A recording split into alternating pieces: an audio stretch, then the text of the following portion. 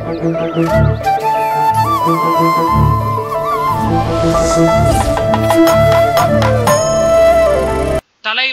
உங்க பைரவா படத்தோட நான் நடிச்ச ப்ரூஸ்லியும் வருது. அதுக்கு நீங்க அனுமதி தரணும் என்றெல்லாம் விஜயிடம் நேரில் கேட்டுக்கொண்டார் ஜிவி பிரகாஷ்.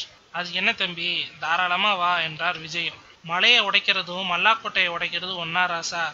பைரவா படம் வரும்போது உங்க படம் வந்தா என்ன வராட்டி என்ன என்று ஜிவி பிரகாஷை ட்விட்டர்ல ஓட்டினார்கள் ரசிகர்கள். அவ்வளவு கலாபரத்திலையும் கடைசி நேரத்தில் கல்லை போட்டுவிட்டது புருஸ்லி ரிலீஸ் தேதி. பொங்கலுக்கு இப்படம் வரப்போவதில்லையா? ஏன்? அப்படின்னு கேட்டீங்கன்னா பைரவா படத்திற்கே எல்லா தேட்டரையும் தாரை வார்த்து கொடுத்து விட்டார்கள் தேட்டர்காரர்கள். அப்புறம் வர மிச்ச மீதி படங்களை எங்க போய் திரையிடுவது? அதனால நாம் நிதானமா வரலாம் என்று முடிவெடுத்து விட்டார்கள். இருந்தாலும் விஜயை பிடித்த ஜிவி பிரகாஷ் என்கிற ரசிகன் அவரை விட்டு போவதாக இல்லை இல்லவே இல்லை. இவரது நடிப்பில் உருவாகி வரும் அடங்காதே என்ற படத்தின் ட்ரெய்லரை பைரவா படத்துடன் இணைத்து விட்டார்களாம். பைரவாக்காக காத்திருக்கும் ரசிகர்களுக்கு முதலில் புலப்பட போவது ஜிவி பிரகாஷின் ஜிகில் பிகில் முகம்தான். ரசிக மக்களே நல்லா ரசிங்க.